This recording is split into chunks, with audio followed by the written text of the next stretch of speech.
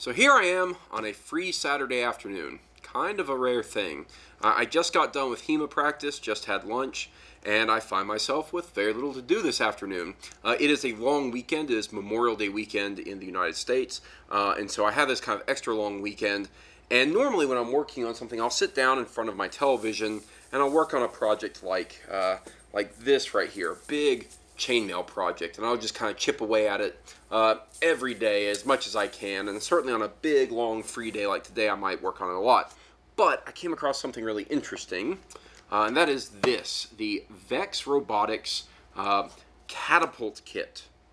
And uh, it's interesting. This one is uh, says it's a STEM starter kit, and STEM stands for Science, Technology, Engineering, and Math. Uh, and so STEM actually, from like a, school perspective, will end up having a lot of overlap with things that I do uh, for work. And so I figured, well, it'd be a lot of fun to just kind of build this, sit down, watch some TV, and build it. And so that's what I'm to do. I'm to build it, and once it's complete, I will give you my thoughts on it. So let me get started.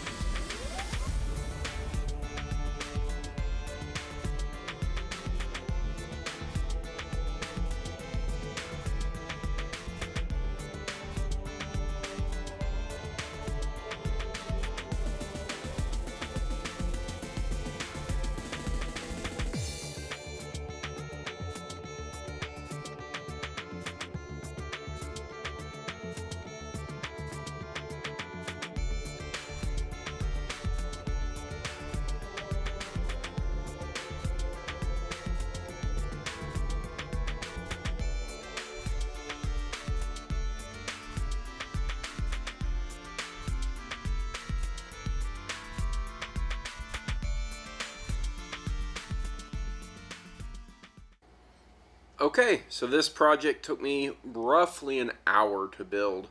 Uh, not that long. I made a few mistakes along the way that I had to kind of go back and fix. Uh, the instructions are pretty pretty straightforward. Um, not too much difficulty in actually putting it all together. Uh, very interesting, straightforward, and rather ingenious build. Um, doesn't work strictly like a, an actual catapult would have been built um, but definitely has all the primary mechanics down. Uh, there's a lot of extra pieces over here. That is because there are a couple of alternate builds. You can do a race car and a trike. Um, of course, I wanted to build a catapult. Uh, it gives you three little missiles and even gives you a little place to store them, which is, is pretty nice. And the These balls are basically like little tiny uh, ping pong balls, essentially. So I will go over uh, the mechanics and how it works. Uh, again, very similar to an actual catapult in many ways. Uh, and then we'll test fire it. So the mechanics for the catapult are actually pretty straightforward.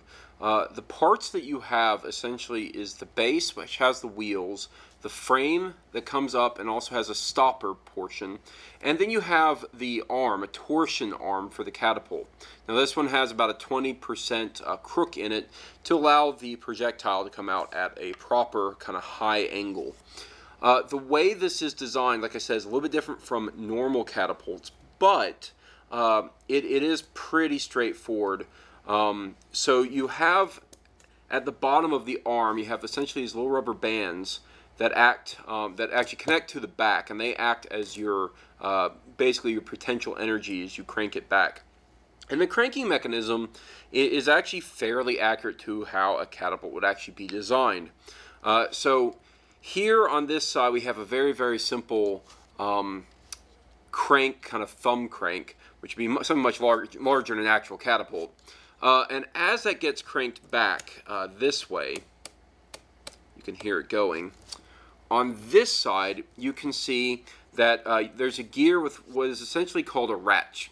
And that's like a ratchet. Uh, you think about like a ratchet uh, wrench, um, something that allows it to only turn one direction. So there's that little pin that as it moves, right here, you can see it going up and up and up. Okay? And it, it keeps this arm back. So as I keep cranking this, the arm keeps going back and stays back until I get it to where I want it to be.